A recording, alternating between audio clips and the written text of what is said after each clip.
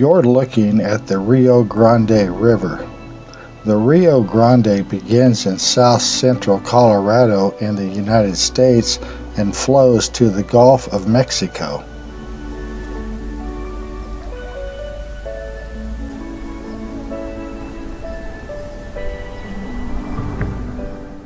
The river is dry during the winter months and only flows during summertime so that the water can be used for the vast majority of pecan groves here in the Mesilla Valley.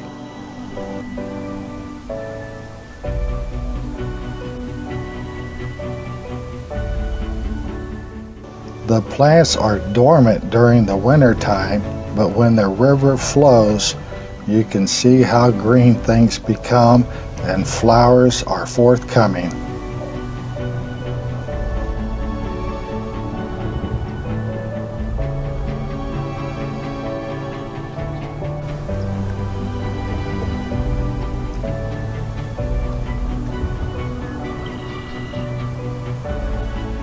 All the water that flows down the Rio Grande is held by the Elephant Butte Dam, which was authorized by the United States Congress on February 25, 1905.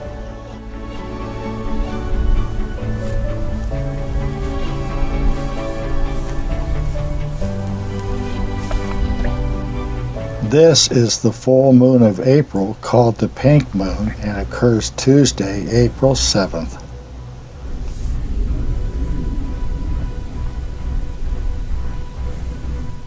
With the Organ Mountains in the background, Rosalind and I are practicing social distancing by walking along the Rio Grande today.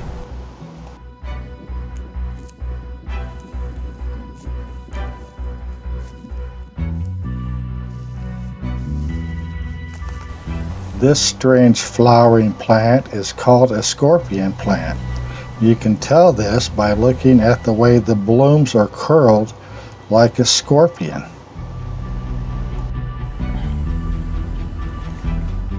At first, this shot was puzzling, but if you look closely, it's my wife shooting videos along the riverbank.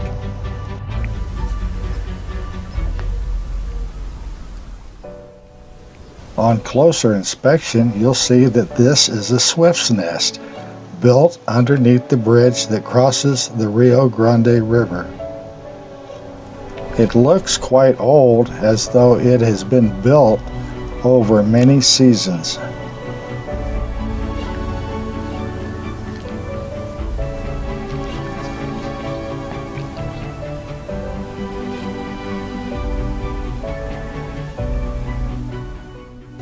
Here is an east and west view of the bridge which crosses the Rio Grande River.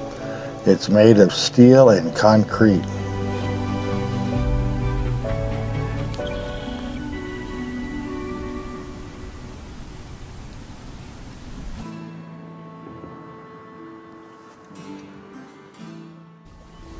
This part of the river is a gathering place for many swifts and ducks that call this home.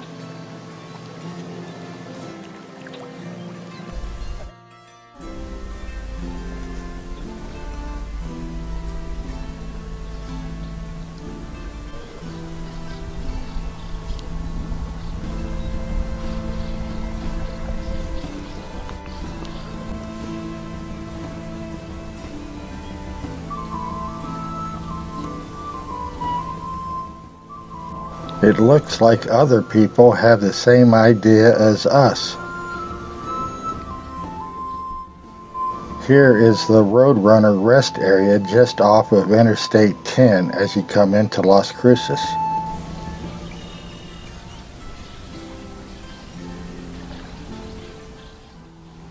This is my old 1976 Honda Civic that I've taken out for a drive.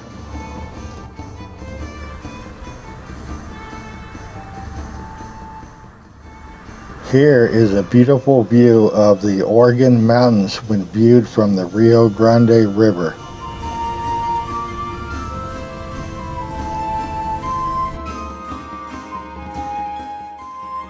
We were fortunate to see a beautiful sunset as the day nears an end.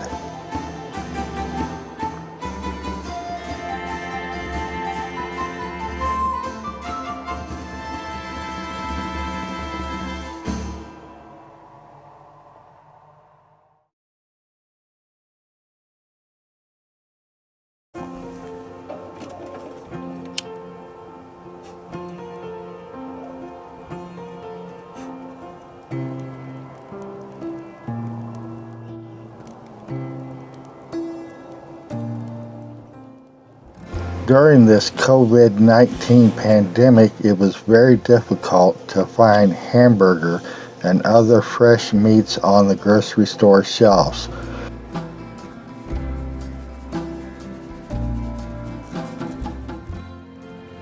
I was craving beef, so we ended up buying this ribeye steak.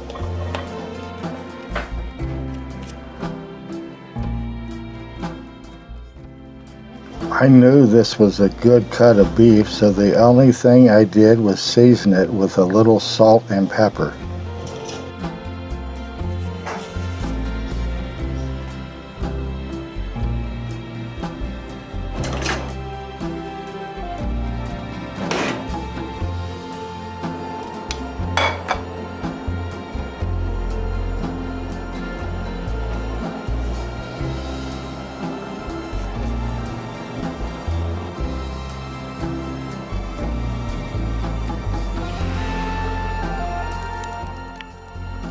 The coals are good and hot and ready for the steak.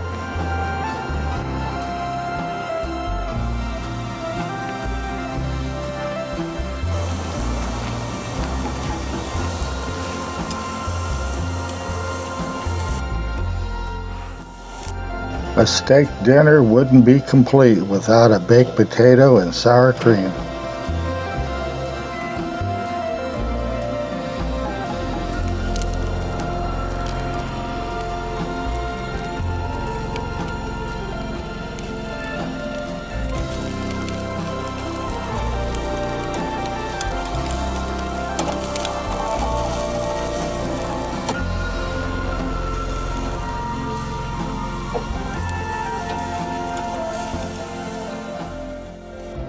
I wouldn't mind eating this steak all the time, but it's a little out of my budget.